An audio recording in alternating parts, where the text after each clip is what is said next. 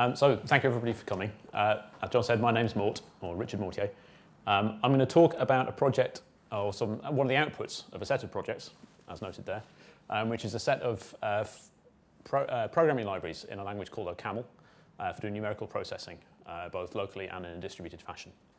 Um, the work primarily was carried out by Liang Wang, uh, hence highlighted, but with support from Jianxin Zhao, who is a PhD student at Cambridge, uh, Tudor Tipley and Ben Catterall, who were both part three, so master students at Cambridge.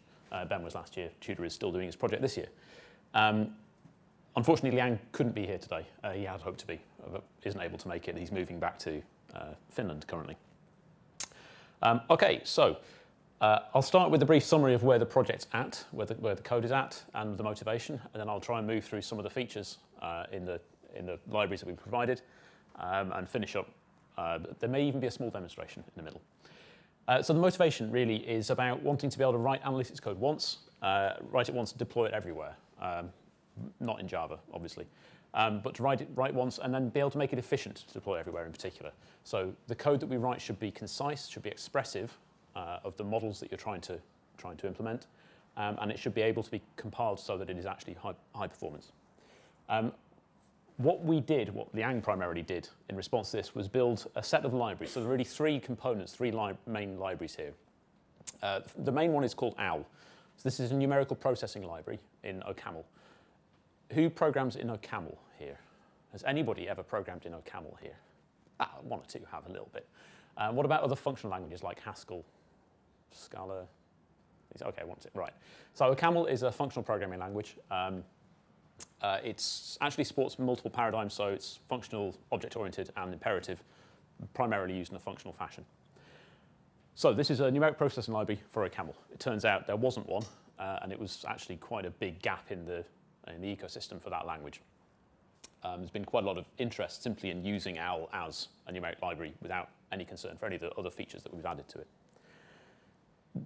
With OWL, you get a tool called Zoo, uh, Zoo is about sharing and reuse of analytics code and models. So the idea here is essentially you use the Zoo tool, you wrap up the model, wrap up the code that you've produced, um, possibly parameterizations and so on, and you publish that as a gist on GitHub. And then you can pull other people's models into your code with a couple of lines, basically a reference to the gist ID. Um, and this allows you to start to reuse models other people have produced to distribute models easily that you've produced. Um, what Jianxin, who is the the PhD student I mentioned on the first slide is working on currently, in fact, is ways of making that a more powerful tool. So being able to do, for example, um, type safe uh, combination and composition of models from different sources. And then finally, Actor, uh, which I'll talk a bit about more towards the end, is essentially a way, a set of libraries that allow you to take models that you have built and try and turn them into parallel or distributed uh, models in a relatively simple, simplistic fashion. Um, so you can add just a couple of lines of code, and this allows you to um, distribute your model to run across multiple cores or multiple machines. Uh, the status, this is after just over a year, I think now, of fairly intensive development. Um, so it's about 180,000 lines of code, uh, 6,500 functions, uh, just under 3,500 commits, and there's been 18 releases so far. And we've just moved all of the uh, re relevant repositories into the Owlbarn uh, organization. Um, we couldn't think of a better name. Uh, I should say, by the way, if you want to stop, and ask, uh, stop me to ask questions at any point, please do. Uh, I have a terrible habit of just talking faster and faster unless people interrupt. I'll say a little bit about the motivating application for this. Um, I could talk at much greater length about this, but I won't in this uh, venue. Um, so the motivating application is a project called Databox. So the idea with Databox is we want to be able to construct a different way for people to manage processing of personal data. And the way that we're choosing to do that is to move from the current environment where data analysis tends to move data into the cloud and then process it in the cloud. So this is this picture here. So data is flowing from data subjects, from IoT devices, uh, from social networks, et cetera, et cetera, going into the cloud and then being processed in the cloud. What we're looking to do with the Databox project is think about, can we flip that around and move the code to the data? So if we allow the data to reside locally with the data subject, perhaps they can exercise more control over it. Perhaps they can understand better what's being done with it and how it's being used. and this means that we, to move the code to the data uh, in this fashion means that we will want to start to build analytics applications that will be able to analyze data that is now being spread across potentially millions of small devices rather than having been centralized into some large cloud service. Um, so that's the, this is the sort of the motivating example. We want to be able to spread data analytics across many, many, many devices uh, rather than centralizing the data to process in one place. We've gone through several sort of iterations of this within Databox, and where we're moving to at the moment is trying to get to sort of properly distributed inferencing and learning. So the, the starting point, as I said, was centralizing data for processing. We did a little bit of work, uh, which is going to be presented in a couple of weeks' time, on distributing models and then refining them locally. So you do an initial training phase using perhaps a small set of centralized data, and then having trained your model, you can then distribute the model to all the little data boxes out there and have it refine itself, refine that model locally using data that's specific to the data subject involved. So you can get more accurate more quickly by refining existing models. And what we're looking to do is go to this, as I said, this fully distributed inferencing and learning. So this is what we're looking to do. The sorts of backends we're looking to target with the code when we, when we compile code written with OWL uh, are quite varied. So we've got sort of, you know, computers, obviously. Uh, we've got uh, things like Zen, uh, Xen hypervisor, so you want to target, uh, you know, AWS infrastructure, Azure infrastructure. Um, we're looking at using uh, unikernels. This is a, another project I've been involved in, which I won't say too much about, but this is essentially, unikernels are about taking application code and compiling it into essentially a bootable image, so something that can run directly on the, on the hardware or directly on something like a hypervisor. Um, Other forms of edge computing device, so IoT devices generally, small devices that sit at the edge of the network.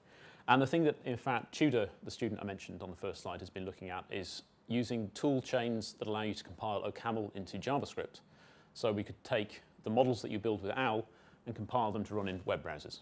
Um, so you could re get really very distributed if you wanted to. I would love to do the stunt if, if he manages to get his project finished and working. I would like to do the stunt where we distribute a web page and then if people visit that web page all at the same time, uh, we can end up with, I don't know, a million nodes taking part in a computation simultaneously. I think that would be quite cool. So, the architecture of OWL. So as I mentioned, we've got OWL, we've got Actor. OWL is the, the sort of the basis for all of this. So the, no, I don't get a mouse on that. So the libraries at the bottom there is the, that's the core of the numeric processing environment. So we have an n-dimensional array, ND array, um, we link, can link against CBLAS and LAPACK, and then we've got some basic memory management and evaluation uh, functionality. On top of that, there's a set of analytics tooling that's been built um, for doing things like linear algebra, data visualization, uh, optimization, regression, algorithmic differentiation, um, and your sort of your expected mathematics and statistics uh, functions. And then on top of that, there's a set of composable services for doing various forms of machine learning, natural language processing, neural networks, um, CNNs, DNNs, and so on. And then the Zoo system sort of sits inside there. So that's the set of tooling which allows you to distribute, uh, download, and compose these services. Separate to that, we have Actor, it's a separate repository, um, and that essentially provides a number of different um, backends that allow you to distribute and parallelize models that you've written using OWL. Um, and they all come down to, there's a, there's a set of different uh, forms of distribution that can be applied there, but they all come down to some, some form of synchronous parallel machine, which I'll say a bit about uh, in the latter half of this talk. Uh, existing work that's going on, so as I've mentioned, Jianxin is looking at the zoo system and trying to make that a more powerful tool for sharing and in particular composing uh, existing systems, existing models. Uh, ben did some work on a barrier control method uh, for distributed machine learning, which I'll talk about in the latter half of the talk. Um, then we have uh, work going on at the moment to do some optimizations to the parameter server engine, uh, looking at using linear types. Uh, Dhruv Makwana is another uh, student in Cambridge, um, looking at linear types for doing memory management for this sort of high performance uh, GP, GPU numerical computing particularly. Um, and then Tudor, as I mentioned, is looking at compilation of OWL models into JavaScript so they can be run in browsers. So there's sort of a set of the work, a fairly complete set of the work, I think, that's going on currently using this. So what does some code look like? So um, the ND array is the underlying, underlying data structure, if you like. And there's four variants of this. So we can have single and double precision real numbers and single and double precision complex numbers. Um, and then there's an any model to deal with anything else. So you can create yourself, in this case, a 5 by 5 by 5 matrix of booleans, which will be indicated as true. And then you can take slices out of that to take, take rows out of that. Um, so it's hopefully not too dissimilar to people who are familiar with using MATLAB and other such environments. Right, this is not, hopefully not too crazy syntax. One of the common complaints about using languages like OCaml is the syntax looks all weird, it's all different. Hopefully it's not too bad. Fundamental operations that are carried out. So indexing and slicing. Who doesn't know what I mean when I say indexing and slicing of arrays? So this is taking pieces out of arrays, larger arrays, and larger structures like matrices. So getting all the columns, or getting a particular column out of a matrix, for example, would be a slicing operation. Um, the sorts of things you might write up there at the top for the NumPy library. Who uses NumPy? Python? Yeah, figures.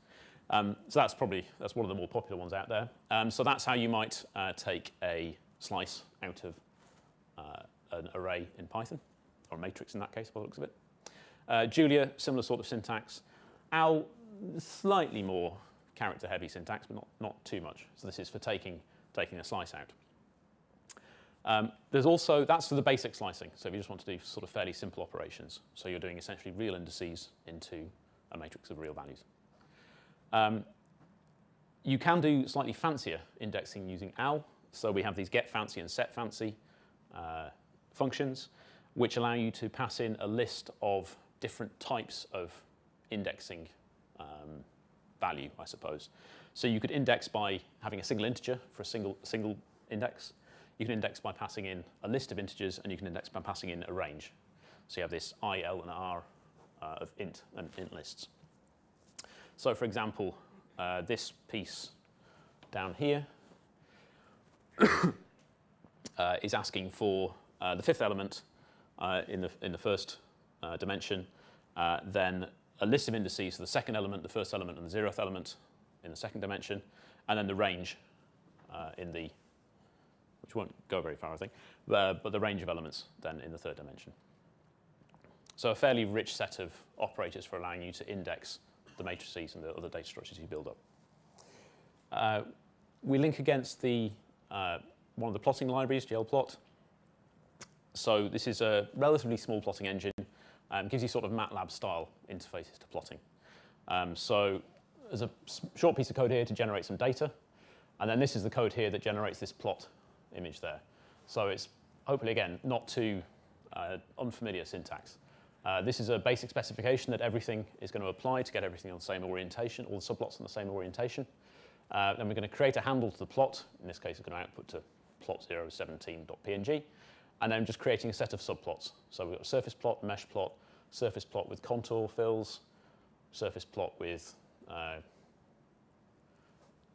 contours down here, I think, uh, and then and so on. So different sorts of sorts of fills there.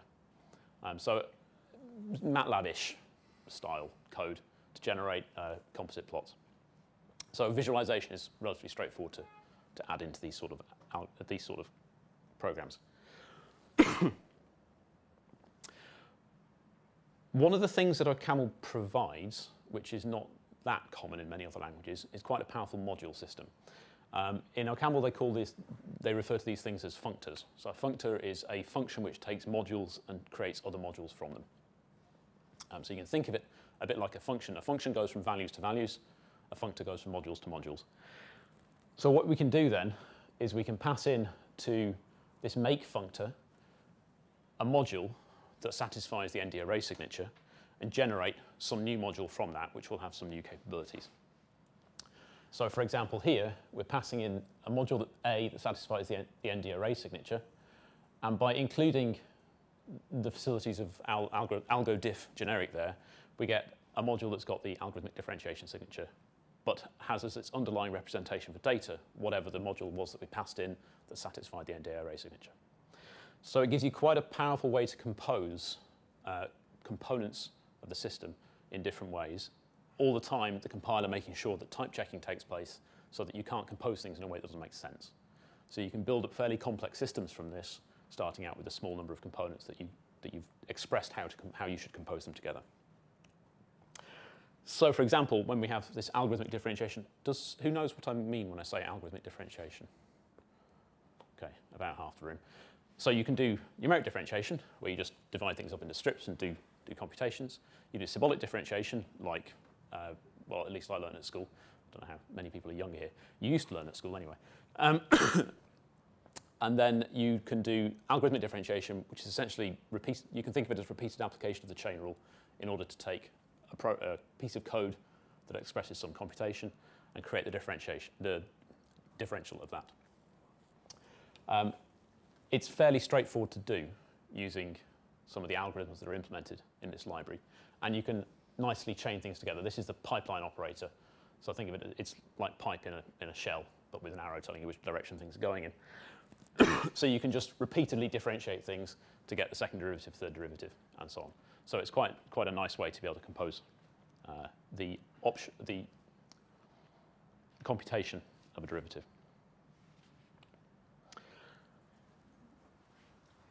By using this throughout the library, uh, Liang managed to make the DNN module quite small. So it's only two and a half thousand lines of code for deep neural network implementations.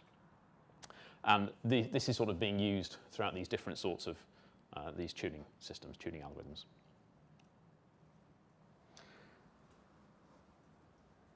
It makes it also fairly easy to extend these libraries. So you can add a new type of neuron, for example, um, and calculating derivatives automatically in the backpropagation phase.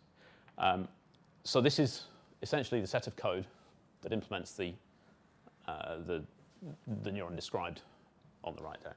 So it's, it's, it's quite a, an expressive system. Right? You, can, you can get quite a lot of power out of it with writing a relatively small number of lines of code. The sort of tracking that the environment does as you express these algorithms and you write the code means that you can also, for example, look at data flow graphs and extract data flow graphs from the code that you write. So in this case, we're expressing uh, a lazy computation. So we go lazy make, so this is a functor, which is going to be passed in the OWL array type. Um, we'll create a couple of variables, and then we'll create a data flow uh, computation, a data computation of that. Just going to add those variables together, dot product the result against x, take the sign of that, absolute value of that, and so on. Uh, and go through all those different things. And then you can tell it to drop out a dot file representation of this, which you can then turn into a PDF using the standard Dotty uh, toolchain. And that produces that graph on the right. So you can look at visualizing your computation and see what your computation is doing. it's got facility for incremental computation. So um, because of the laziness involved here, uh, you can, when you redo the evaluation, so this m.eval here, uh, the m is the, the module that was created on the previous slide. So this is the, the lazy computation module. Um, you can look at, as data flows through this and the computation is carried out, when you change the values that are going on, there's enough bookkeeping, if you like, in the code that's been generated that it knows it only needs to recomputate this part of the computation. And the rest of it's not going to change as a result. So this sort of incremental uh, evaluation makes, again, helps to make things efficient and keep things efficient. and in particular, it means that you're not doing memory allocation, deallocation when you don't need to. You're only looking at the things that are actually changing, uh, changing as a result of the inputs changing. We have the ability to, right now, uh, to link against the, uh, what's it called, OpenCL for GPU programming. Um, so we've got a set of uh, facilities available in the library. Um,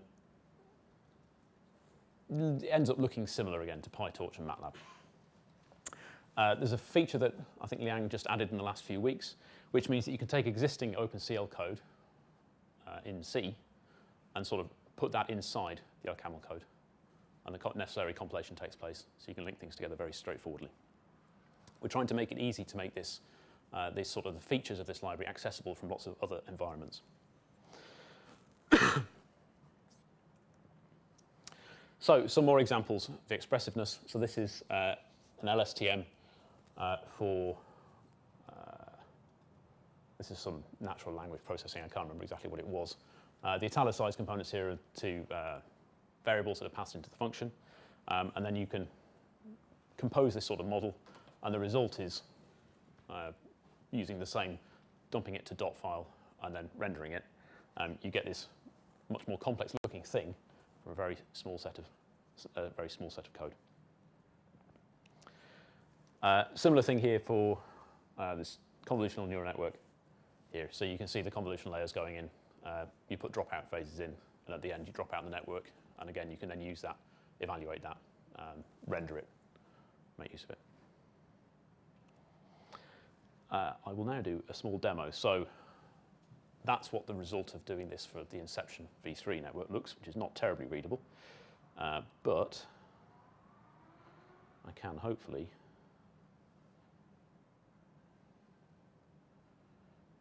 briefly show. Ah, I have too many pixels on this screen now, thanks to HDMI. So if I take a handy pre-downloaded photo of a lion,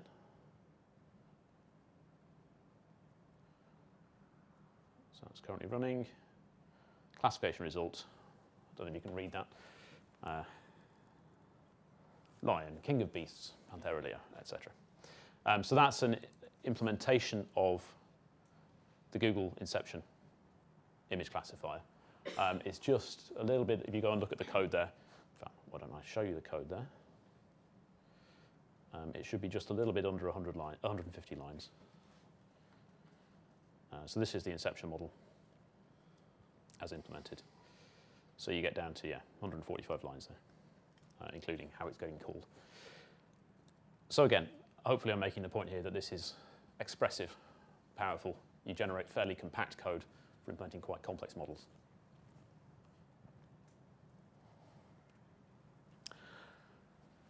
That's the material on OWL, the basic library. Any questions about that part? No. Okay. I'll talk a bit now about Actor, which is not quite as stable yet, but works, some value of works. Um, it's in particular, it's not released yet. So OWL you can implement quite, you can install quite easily uh, using, if you're familiar with the OCaml uh, uh, ecosystem, there's a package manager called OPAM. You can do OPAM install OWL, and you get OWL installed, and it just kind of works. You've got all the tools there. Um, Actor, we haven't quite finished releasing yet. Uh, it still takes a little bit more to get going with it. But the point with OWL, with Actor, is it allows you to distribute the models that you might implement using OWL, and do so quite straightforwardly. so you can basically plug together you know, different components from OWL with different backends from Actor, in this case the MapReduce engine. Uh, you might take a neural network and push it across the parameter server engine. You could take a neural network and throw it at the GP, GPU. And the idea is that this should be straightforward to do and should produce reasonably performant code uh, that, that is able to make use of these kind of distributed resources. So by way of example, if you take ND, an, uh, some piece of code written in OWL that's using the standard ND array, the core, the core array representation. Um, so you can write a map function. In fact, we provide a map function for that. So this is a map is a function which takes a function that you pass in and applies it to every value in a list, for example, or in this case, an ND array. So dense.ndarray.s.map, sin x is taking the sine function and applying that to x, which is some ND array representation of some single precision real numbers. So what do we do when this ND array becomes distributed? Can we, can we make this code operate when the array, when the values you want to apply it to are now distributed across multiple hosts? So all we need to do is create a, use a functor, so in this case, owl parallel make distributed, and pass in a module that represents the data that we're going to use, which in this case is the single precision dense ND array, and a module that represents a particular type of distributed computation, in this case, a MapReduce style computation. The result of doing that is this module M. And now when we do M map sign, so this is the higher order, this is a sort of currying of this function, what that is, the result of applying this m.map to sign, is now something which is going to apply to a distributed array and produce a distributed array as a result. So you can now pass a distributed array into this same piece of code, and it will automatically spread that code out across the machines run it across the data that's held locally. So by adding essentially one line, you've taken your centralized implementation and turned it into a distributed implementation. You can do it to more complex things. So uh, if we look here, for example, uh, some simple convolutional network, neural network, um, you can do training locally then with this. So you take this al neural S graph train network, so that's the, the sort of the standard implementation. To do parallel training on the cluster, you, provide, you combine that with the parameter engine, parameter server engine. So again, producing another module here using these functors that exist so that you're now going to spread things out using this actor.param. Uh, and then when you implement this, when you call this, you're going to be training the thing across multiple nodes in the cluster. We currently provide three engines for doing this, MapReduce engine, parameter server engine, and a peer-to-peer -peer engine, which is a simple distributed hash table implementation. They all rely on this synchronous parallel machine for synchronizing. So you need to be able to synchronize the computations that are taking place. As iterations are being carried out, you want to have some kind of coordination between the multiple hosts that are performing the computation. Um, synchronous parallel machine is essentially an abstract computer that you use for designing parallel algorithms. So you assume that you've got a local processor with some fast memory. You assume you've got a network that's able to route messages between computers. And you assume you've got some means to synchronize the computation taking place on those computers. Um, it, these sort of, uh, this, this component, if you like, this model, is used as the building block for lots of different processing systems, Hadoop, Spark, uh, Spark, et cetera, et cetera. the core of it is this way you deal with, co with coordination. You need to be able to synchronize the computation that's taking place across multiple machines. And what we're, what we're doing here is we're trying to think of ways that we will be able to make this work in this environment that we want to target from the start. So this idea that we've got millions of nodes now doing distributed computations, and you want to be able to make this sort of work in that environment. Um, so there will be several diagrams like this in the next few slides, so I thought I'd explain it. Um, you've got multiple processes carrying out computations. You've got iteration steps as you go through, as you run through the computation. And then you've got some kind of, in this case, synchronization that, to access some global state. So you've got these different threads all running along, uh, computing as they go. Progress is measured by supersteps or iterations. Central server maintains some global state then there's going to need to be some communication that takes place in order to try and keep everybody synchronized so that nobody runs too far ahead. There are essentially three main ways that that synchronization takes place. So BSP is the one that, uh, in some sense, is sort of obvious. Um, so this is strict lockstep synchronization. Right? People, the processes compute till they get to the end of the iteration, then they wait for everybody else to catch up to complete their iteration. Once everybody's caught up, they synchronize, and then move on to the next iteration. So everything's happening in these lockstep. Uh, this is what's used by things like Hadoop, Scarp, uh, Spark, and so on. I don't know why I keep saying Scarp. Spark, and so on. So BSP uh, is sensitive to stragglers. So if one of the nodes in your system is much slower than the others, then the faster nodes keep having to wait for every iteration for the slow node to catch up. So it gets very much affected by stragglers. But it's also fairly simple. It's quite deterministic. One iteration, get to the end of the iteration, wait for everybody, move to the next iteration. So it's, all, it's relatively simple to understand and relatively simple to use to write applications. Um, if I move to the, the far right-hand side of the chart now, at the other extreme, you've got ASP. So ASP is essentially no communication. Everything just runs at its own speed, as fast as it can through the iterations that it's got to do. And there's no coordination, no explicit coordination between the processes performing the computation. So it's very fast. It's very scalable. As you add more processes, nothing has to slow down because everything just goes as fast as it can. Um, however, a lot of the updates will be noisy because you can end up with one of the processes computing much further ahead in terms of iterations than other processes, and so they've ended up going off in the wrong direction essentially, and there's no coordination to bring them back into the same, into alignment with everybody else. so there's no convergence guarantees in particular, because a process can just go off into the wild blue yonder. In the middle, you've got SSP. So SSP is a relaxed version of the strict synchronization. So you essentially you allow some degree of straggling to take place. You allow the nodes performing the computation, the processes performing the computation, to spread out slightly. They don't all have to be in strict lockstep synchronization. They're allowed to get a little bit behind each other. But when they get too far behind, then you're going to wait for them to catch up again. So you allow some spreading out to occur, but you don't allow sort of infinite spreading to occur, which is essentially what ASP allows. So these are the three main flavors of this form of synchronization. They are all used in different types of distributed computation environment. what do we want? Well, ideally, we want fast convergence for iterative learning. So we want things to get to the right answer quickly. However, if we slow down the iteration rate, or the updates that have been provided are noisy, this is going to slow convergence down. So the way that this is normally handled then is you provide synchronization. As you provide synchronization, then you try and make sure that the updates are more uh, consistent. You reduce the update noise.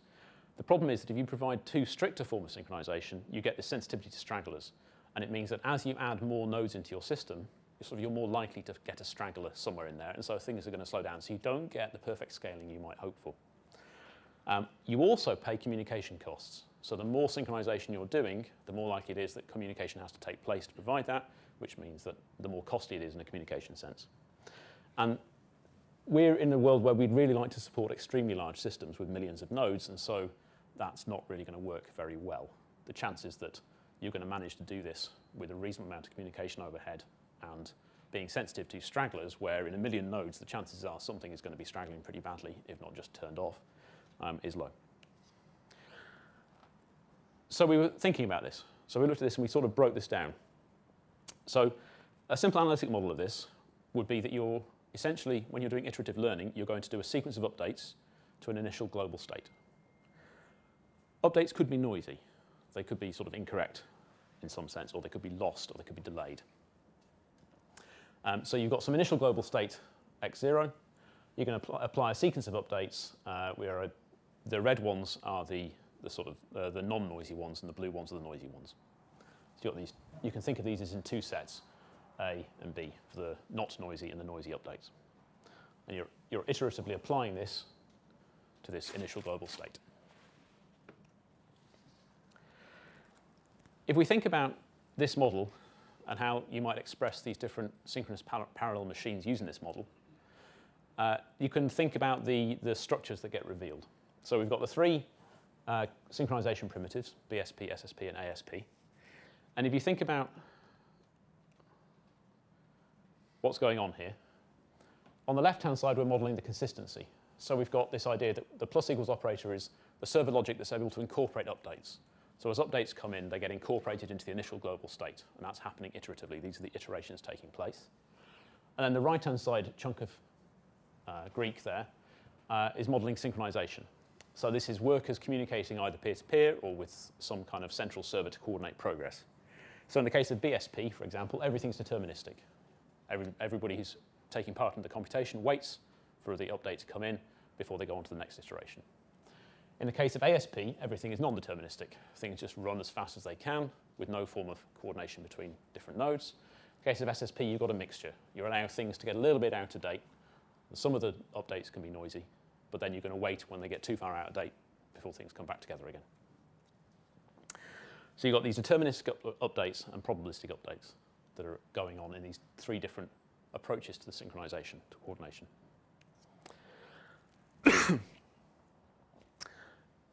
It's often the case that the global state will become uh, a single point of failure. It tends to be managed by a central server.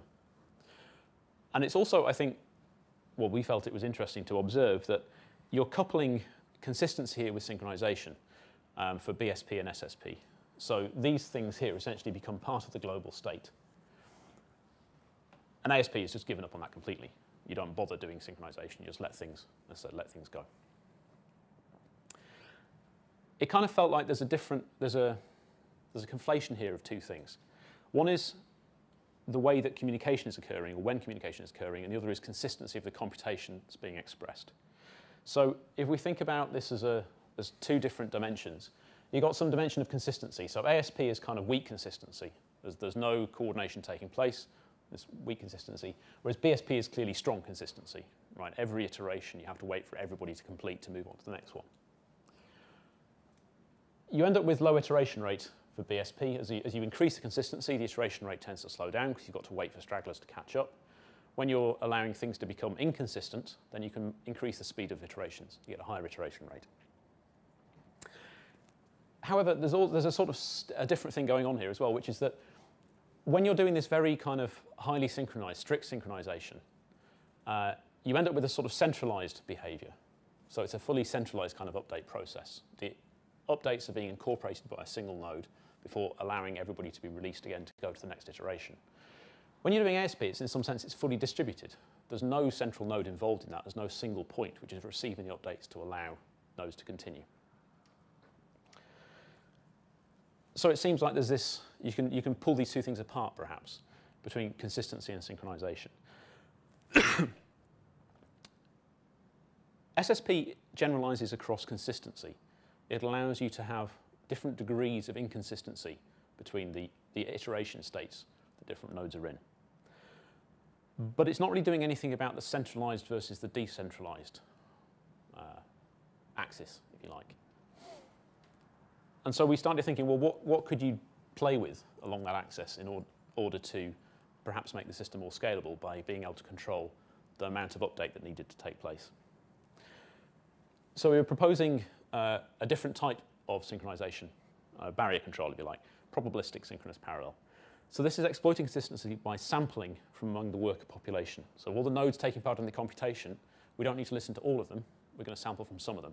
And we believe we should be able to do this because we have such a very large number of nodes. Well, obviously, if you've got two or three nodes, it's not really sensible. So we're now replacing deterministic and probabilistic components with this sample distribution of which nodes we're going to wait for updates from. And then we can enforce consistency within a small group of the workers.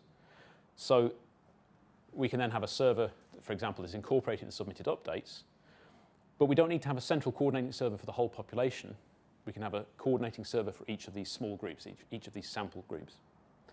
Um, and the, uh, the hypothesis, the belief is that then you can have sort of synchronization almost propagates through overlaps between these groups. But you don't need to have one node looking after the entire population. You hope that none of these little subgroups gets too far out of whack with each other because everybody's kind of, there's a little bit of overlap between all these subgroups. so we add a new primitive to the system called sample. Um, we try and make sure that we're guaranteeing random uniform sampling by having nodes organized in a structured DHT. So we've got the standard kind of uh, address assignment, process identifier assignment there, which is distributing these identifiers across all the nodes uh, uniformly. And we can, in fact, estimate the population size and therefore be able to work out how big a given sample should be for a given sampling rate by looking at how uh, many IDs have been allocated, looking at the density of ID allocation. And you can then apply this primitive to existing synchronization primitives in order to give you, hopefully, a more scalable version of those primitives. So it ends up as, a, if you like, a higher order function. You, you take this sample function, you apply it to uh, BSP or SSP to get a probabilistic version of those algorithms, of those uh, barrier functions.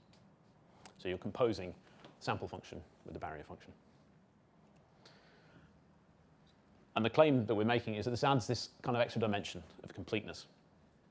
Uh, so we can parameterize between a fully centralized system and a fully distributed system, and therefore look at the convergence rate now not just being about the consistency of the sample and the rate of iteration, but also the completeness of the sample. So you can hopefully then look at saying, well, if I sample too few nodes, I'll have too little information coming in. If I sample too many nodes, I start to become affected by stragglers again, but I can at least look at that, look at varying that parameter to work out where is the most efficient place for me to be for a given data set for a given computation.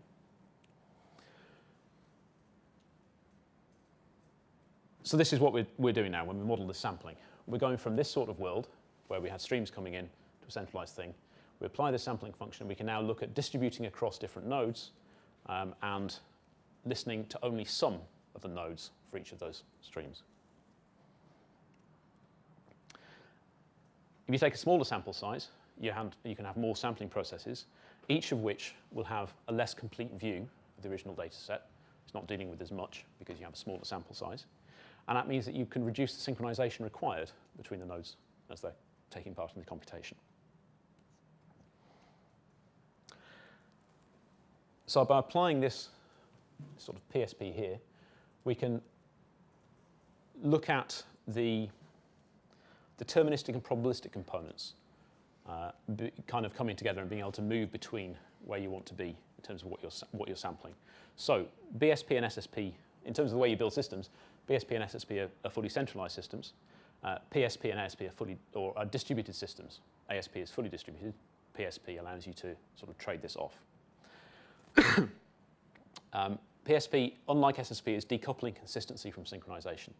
So we're allowing you to become uh, not just inconsistent, but you're allowing different subgroups in the population to proceed at different rates.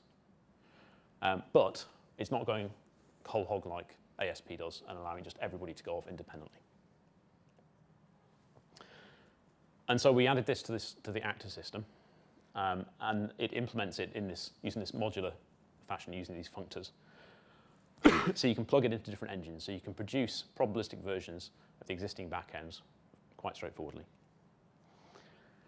So when we compare it to existing uh, synchronization methods, uh, against BSP, you're looking at faster iterations, uh, faster convergence, and a decentralized system. You're not reliant on a single centralized node to maintain strict coordination, strict synchronization among all nodes, all worker nodes. Compared to SSP, you get faster iterations and faster convergence, and you're decentralized. Compared to ASP then, we, have, we actually do provide some consistency guarantees. We're not completely allowing any form of inconsistency to arise. And so we can do better, better convergence guarantees. But we do have a bit of coordination going on there. Have you looked at all, I mean, you're assuming randomness of, of sampling there. Have you looked at all at assigning higher weights to nodes which are more important for consistency? What would higher weights mean? So you mean in terms of the computation being carried out or trying to make them more reliable or? Or, to, or waiting for them more? Uh, no, we haven't tried that. We could try that. Um, I think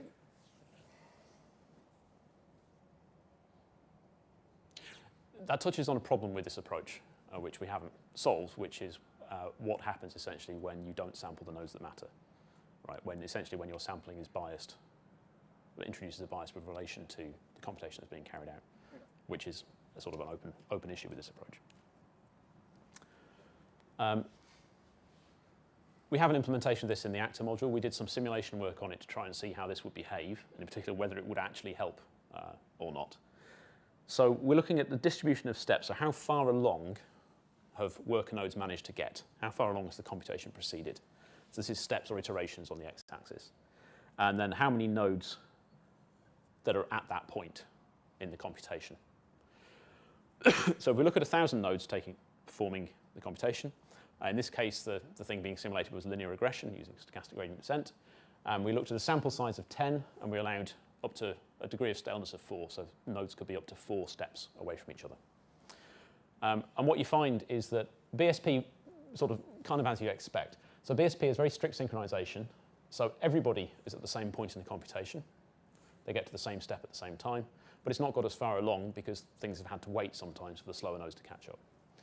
Um, ASP is way out at the other end, where there's quite a big spread in how far nodes have got because some nodes went fast, some nodes went slow, um, but there is a big spread there, so they're quite, they're sort of relatively speaking inconsistent as to where they're up to in the computation. Interestingly then, so SSP allows a little bit of spread. It's probably quite hard to see, but there is a little bit of spread there in terms of the computation step different nodes have got up to. Um, and they've got to sort of 210 iteration in this particular example. And then the probabilistic versions of BSP and SSP are both further along in the computation, but are also still relatively tightly uh, packed around a particular point. So you haven't had too much spread in some sense. You had less spread than you might, you might get certainly with ASP. and if we look at the, um, uh, the CDFs of these in terms of uh, how far things have got, ASP you, know, you get this quite large spread in terms of the proportion of the nodes that have got to a particular iteration. Um, PBSP and PSSP are both still fairly tight, fairly vertical. SSP is more vertical, but is a little bit slower. BSP is just a straight line, but is quite a long way back.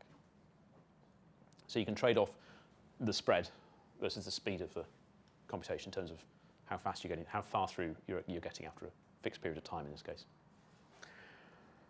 When you start to look at the sample size, you can kind of trade off how um, tightly synchronized you want to be and therefore how far along you're going to get. So a sample size of zero, that's essentially turning into ASP. Right? You're not doing any coordination between any of the nodes. Um, in this case, you know, a sample size of 64, so quite, relatively speaking, big samples of the population, tightens things up a lot, but also slows things down a lot. And so you can trade off this, this parameter and pick where you want to be on that. Have you looked at dynamically working out this um, sample size? So if your data is becoming too spread, you can change it as you progress through your data. Uh, not in any detail yet. We thought of various things that could be done here, but we're still working on doing an actual evaluation of the basic, the basic system first. Um, but when you introduce an extra parameter like this that you can now play with, it does make it. There's a lot of things you can do to sort of automate and make that more efficient, hopefully. so yeah, so the, the basic thing is here, here is smaller sample sizes, faster iteration, uh, but allow greater spread between the points that the system's got up to. Um, so this, these plots, I should say, by the way, were produced by Ben Cattrall, who was a, a student with us last year, master's student. Um, so he did a lot of simulation work on this. And so you can now look at starting to tighten the bounds. So you look at reducing the area beneath the curve, and you can again um, change this sampling parameter in order to try and get things either more, to be able to get things more tight or allow things to get to move further apart. Uh, these are essentially outcomes of some analytic modeling he did of this. So you can you can create some closed form expressions for how how these kind of systems will work. We now looked at increasing what the scalability of this was going to be. So as we increase the system size, as we increase the number of worker nodes um, for a given sample size, so in this case a sample size of 10, and we're looking at the performance degradation, so the percentage change in the accuracy after each given iteration at a given point in, the, in time. So when we look at how this has gone, as you've increased the number of nodes now on the x-axis, you look at the percentage of changes, so, so how, how much uh, error, if you like, performance degradation is being introduced. ASP is a straight line. So the green line here, the green boxes, that's pretty straight. So as you'd expect, as you increase the number of nodes in the system, it doesn't really change how the thing performs because each node is running independently of every other node. BSP and SSP both get degraded. So these are the, the blue crosses and the red circles. They're both getting worse because they have to synchronize, so they're having to wait for things to catch up. PSP actually gets a little bit better. It actually improves as you increase the number of nodes in the system, which was a little bit uh, disconcerting when we first saw that. And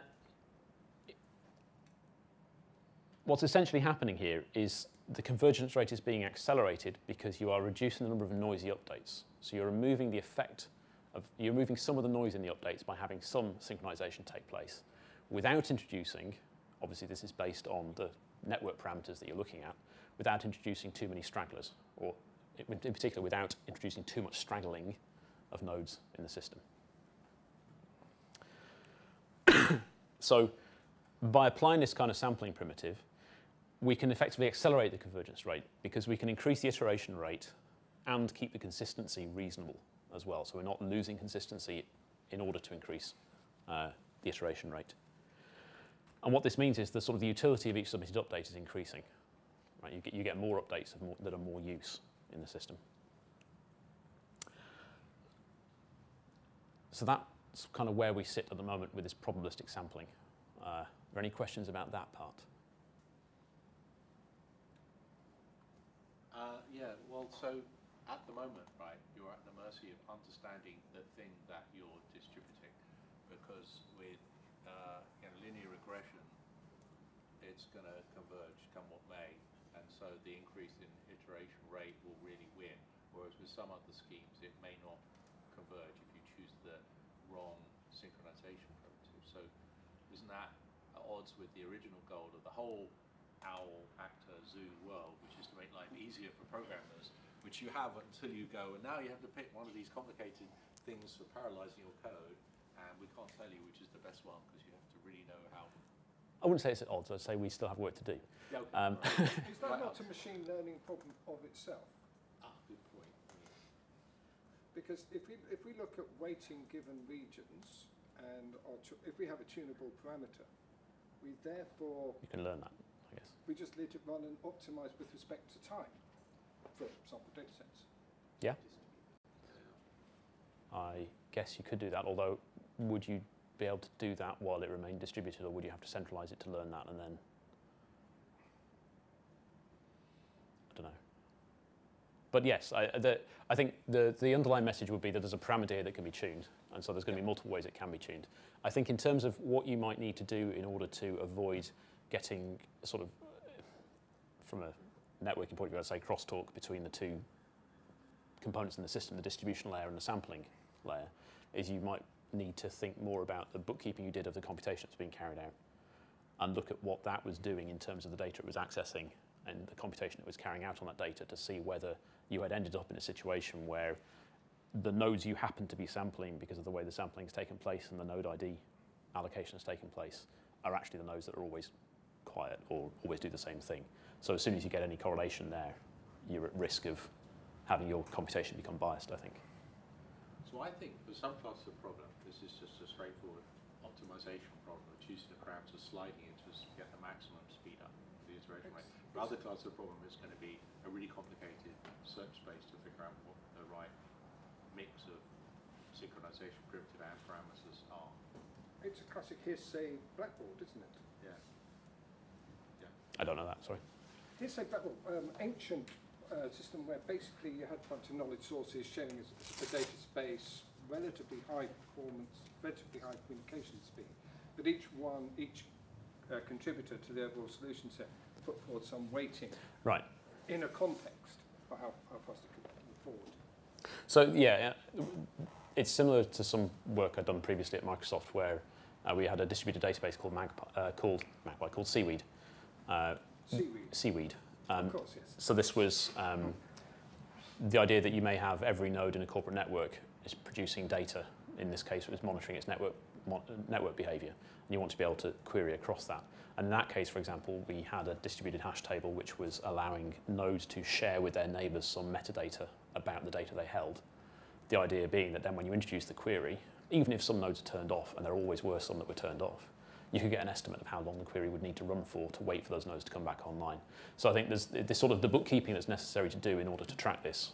We haven't worked out yet, but I think you certainly could do bookkeeping in the in the worker nodes in the system that would allow you to do those kind of optimizations and heuristics on top.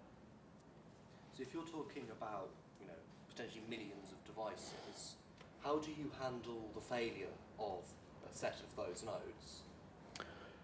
Uh, so I think the idea would be that, uh, assuming that the nodes that fail, there's no correlation among them with respect to the computation you want to run, you would hope that you can deal with that essentially just by ignoring them. Because you're doing enough sampling that hopefully you don't care if 100,000 out of the million are gone. It doesn't, hopefully doesn't make too much difference. If those 100,000 out of the million that are gone all have a particular feature, which you won't then see, then yes, you have a problem. Because you would have an effect if there was a bug in one of a particular value sent to any number of machines will crash. Yes. Yeah, and uh, you know, if for example, again, if you're doing this in the, the network monitoring example, and it turns out that when the ISP goes offline, all the nodes that have information about the network also go offline, then yes, that's not going to work Well, so I well. mean, I think another concrete example of that would be, which is one thing we've looked at, which is um, trying to create a accurate model of electricity consumption or gas consumption, water consumption. So you have a model parameter server and you create this, this model and you have maybe 16 kinds of household or 100 kinds of household. But if uh, one of the parameters is reliability of electricity supply, and you don't get an answer from the unreliable people, then you're, you're systematically biased. That would be a very simple example of where it would be a, an issue, I think. Uh, Yeah, so there will be systematic biases you have to be careful about. Sorry. So another thing, if you're running this, you know, quite complex computation on phones, um, surely that's going to have problems with power consumption, because you know, um, laptops and phones are very limited on the energy they can carry, and they don't want them being burned up in their pocket, Yeah. you know, doing a massive deal there. So uh, for myself, I was thinking of targeting this more at the set-top box environment rather than phones per se. But um, the code that gets output from OWL, the camel code that gets output from this, is reasonably efficient.